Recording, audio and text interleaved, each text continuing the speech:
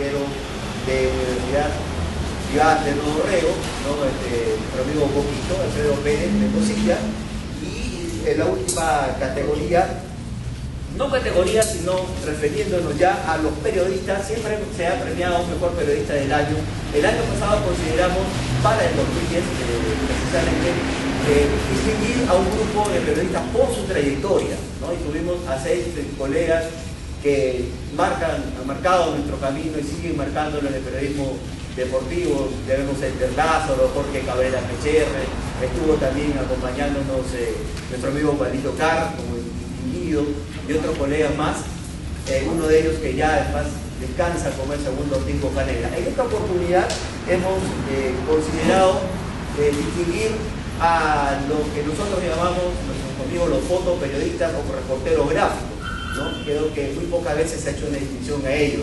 el trabajo de ellos una vez expresada en una fotografía, en un diálogo, puede expresar mucho más que en palabras.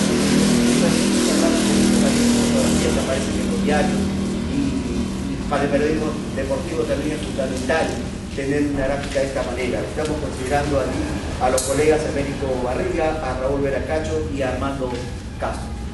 Esencialmente eso, eh, la premiación, son las principales características para la premiación, las novedades específicamente para este viernes 27 y simplemente decir que para el próximo año, eh, Dios mediante, continuemos trabajando al lado del IPD, poder hacer esta prevención mucho más temprano, en el mes de enero, ¿no? Eh, para que sea nada más fresco todo. Eh, hay varias razones que nos impidieron hacerla en el mes de enero, febrero, pero estamos saliendo adelante con esta para el deporte social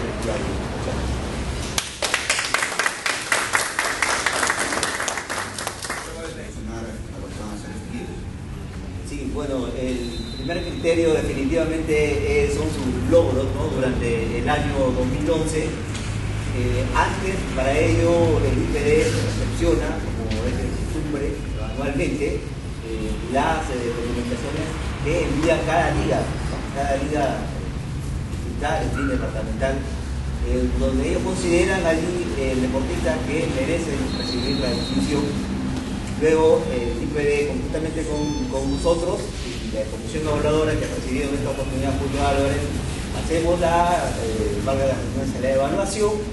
Eh, bueno, en la mayoría de casos coincide, ¿no? Porque también hay otros criterios que se emplean ahí por la, participación que ha, tenido, los, como decía. Los, logros que han alcanzado y eh, se elabora pues la lista, creo que no ha habido mayor discrepancia, ¿no? Ha habido mayor polémica en ese sentido. Hemos podido ah, hacer una lista aproximadamente, algo más de 40, exactamente no tengo el número claro, es algo más de 40 y eh, en 35 deportistas, eh, que son meramente deportistas, y ahí se suman el mejor dirigente, el mejor entrenador, los periodistas y las demás categorías que les había mencionado.